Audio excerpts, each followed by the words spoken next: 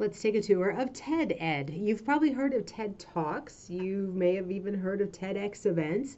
But there's TED Ed, which is taking some of those talks and animations and things and setting them around an educational focus. It's not the easiest website to navigate, but I do want to show you a couple of tips and tricks and show you where really great content is available. I should tell you this is great for grades 4 through 12. Um, definitely more secondary than you're going to find in the elementary range, but there are a few gems here and there for the elementary students as well. When you're at TED Ed, we're going to scroll down here and you can see a little bit about, um, you can make lessons here for students. I don't think you need to. There's a possibility in here if you want to explore all that, but creating accounts for students, I think it's just easier to take content from here, move it into something like Edpuzzle, or um, create your own activities go along with that. Um, and one thing that is interesting, I think, in here is there's actually tips and tricks for you to run your own TED event sorts of things at your school. So, and that's for children ages 6 to 18. Um, if you would like to have your students do speeches and tell their story in a TED Ed kind of experience, there's resources in here to help you get started with that. But let's jump back up and we're going to go into Discover and I'm going to jump into lessons. And you're going to see that there are pages and pages of videos with the different views that they have. These are all in YouTube. So anything that you see in here, you can find at YouTube. But I think this is a great website just kind of narrow down what TED Ed offers and get you started through a few things. Um, we're going to jump over here to the right hand side and we're going to choose filter and you can pull things down by age range, content, how long the video is, or if you need things with subtitles. You can choose more than one filter at any time. So I'm going to jump over here and let's do elementary just to see what we have available. And I'm also going to choose that I would like these to be under six minutes. I'm looking for some short pieces in here. Here we go. How does it grow on cranberries? That's a nutrition piece, but that's also really great for regions of the U.S., as cranberries are a big part of New England. But when we pop in here, you've got your video. Things, Just right? roll puff so, pastry dough. Just unroll you know, and be a pastry chef. But when you get of to the all video, the fruits farmed in the United States, we're going to take a look a little further around. Over on the right, I want you to notice that there is a section over here for think. These are questions, think Edpuzzle kinds of activities where the students watch the video and then they would have questions to answer. Dig deeper, that's going to give you websites. Sometimes they'll even um, have other articles built into this space some discussions if you want to add to a discussion board inside of TED Ed. I'm not going to recommend that for students, and especially to see how old some of that is, I would probably skip the discussion piece. And then they do have um, websites for you to go explore if you're interested in those. But most of it, we're just going to jump into the watch piece of it. Once you play the videos, of all the. You can go ahead and jump directly over into YouTube, which will take you to the page here. Of course, I get another ad. The marketers failed. But if you are using something like Edpuzzle and have the Chrome extension for Edpuzzle built in, you can just start your editing of that straight away right here if you're interested.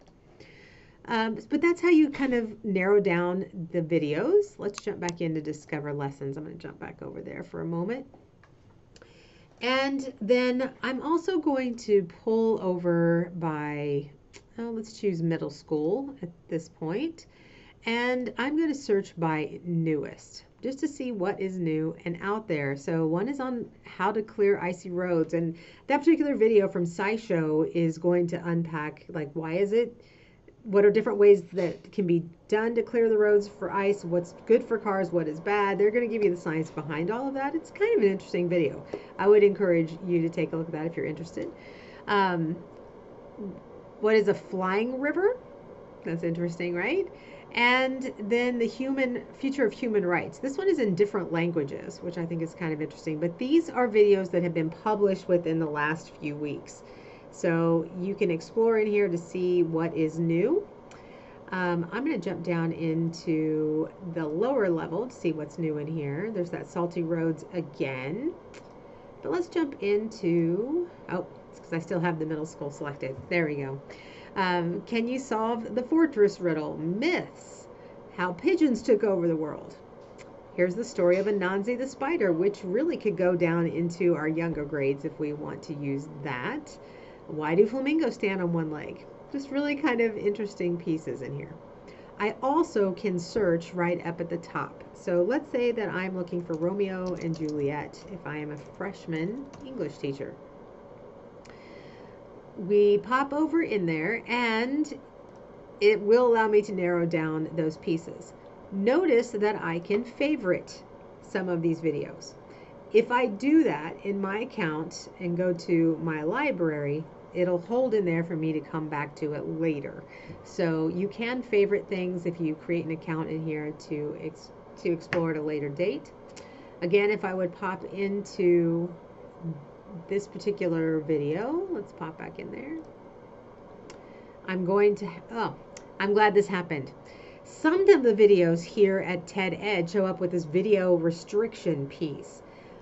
But here's what's interesting if I copy the title, uh, let's go into, to go back one and copy the title. Should you care what your parents think? And I jump over to YouTube.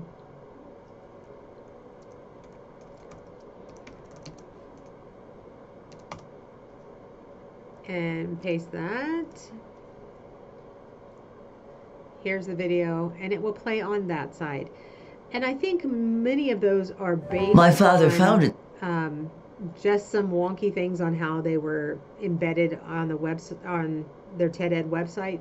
If you find a video in TED Ed that you need to show and you need help along with that, and it's not playing for your students, let me know. Give me a give me an email link, and I'll do what I can to get that opened up for you. Okay. Finally, um, there is also a collections option in here where you're going to see things by topic. Superhero science. Let me pop over there. Superpowers were real, super strength. What if they were real with body mass? There's some science, physics kind of goodness in there. Um, there's a whole piece in here around biology and health. There's a whole lot of really interesting pieces in those areas and then myths from around the world. This is one of those that I think is really fascinating. If I am covering sixth grade social studies or if I'm doing world religions, if I'm covering anything that would be a tale going along with um, ancient civilization, whatever it may be, you might find some really um, great storytelling kinds of pieces in here. Pandora's Box, Prometheus, Icarus, and Daedalus, you'll have um, a lot of these pieces in, in here that we reference in other bits of literature, um, or you'll see these being referenced in science. You could share the stories with the students as well. So those are the discovery sections of the lessons inside of TED Ed. Like I said, it's not the easiest website to navigate, but I think it is worth an exploration. And yes, you can do all of these inside of YouTube as well, but if this is a great place to get started, to browse what's available, I recommend it.